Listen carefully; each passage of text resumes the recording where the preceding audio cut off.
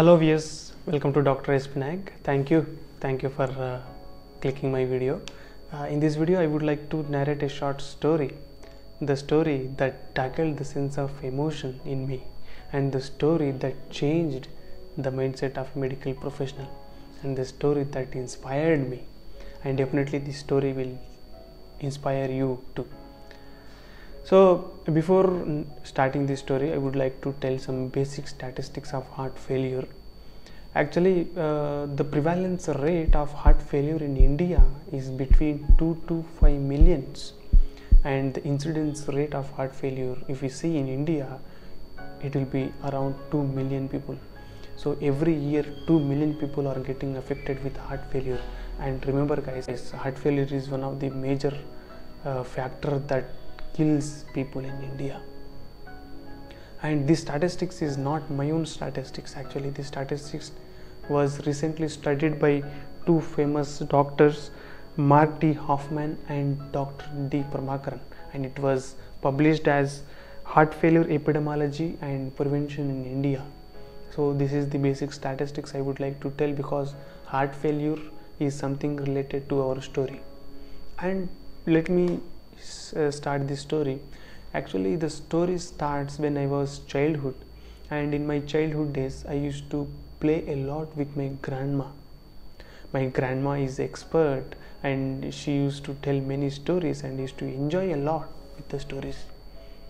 And my grandma was frequently she used to get hospitalized because of her uh, many health issues.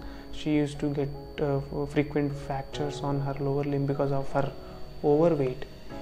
And one fine day she was suddenly taken to hospital. And in the hospital the physicians told that she will no more live longer. She will she will die within few days. And i was shocked why. And when i came to know the reason uh, why she will not live longer i found that she had frequently few bypass surgeries and uh, in the heart nothing is left out to do further heart surgeries. And for that reason the physicians told that she will not live longer. And as per the guidance of the physicians and the surgeons my parents brought my grandma home so that she can die at home. And she was kept at a corner in the house. And one fine day grandma was staring at something aid from the radio and in the radio something came about Nathan Pritikin. Nathan Pritikin advertisement was coming in the radio and uh, uh, it was mentioned that Nathan Pritikin will help heart failure patients and something like that was coming and my grandma asked my parents to take her to Nathan Pritikin and when she was taken to Nathan Pritikin, Nathan Pritikin started treating her. And Nathan Pritikin was one of the famous dietitian and nutritionist. And after his complete uh, treatment, my grandma was taken on the wheelchair and she walked without the help of wheelchair. And that I was surprised how Nathan Pritikin can change the life of my grandma and my grandma was totally fine. And i started playing with my grandma. And she enjoyed the life after nathan pritikin's treatment for 20 years. As the doctors told that she will no more live longer and now she enjoyed for 20 years.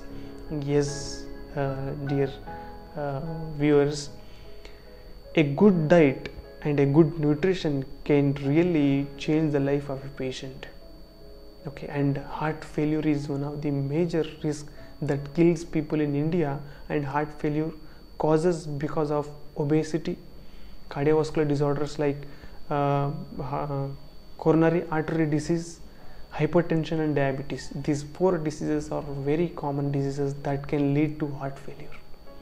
So to reduce the risk of getting heart failure definitely i advise everyone if you are overweight please reduce your weight. And if you have habit of having uh, junk foods and many other food items please concentrate on good diet. And a good diet can change your life. So this is the story. Actually this story i uh, recently i have seen this story in one book. And the name of the book is how not to die. And this book is written by dr michael greger i was enjoyed the story actually. And listen guys this is not a fake story. It is a real story. Nathan pritikin is the real man and was based from the america. And this story is featured in nathan pritikin's biography. You can even see this story in the net. And in the name of the man who healed the heart of america.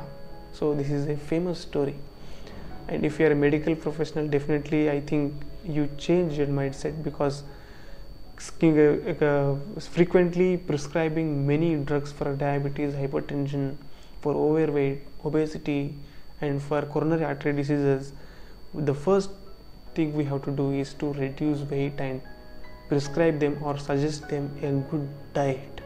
A good diet can change the life of a patient. Thank you for watching. Please keep uh, watching my videos subscribe and like our video.